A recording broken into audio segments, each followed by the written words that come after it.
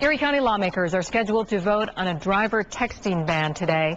This summer, a bill to make driver texting a primary offense was introduced.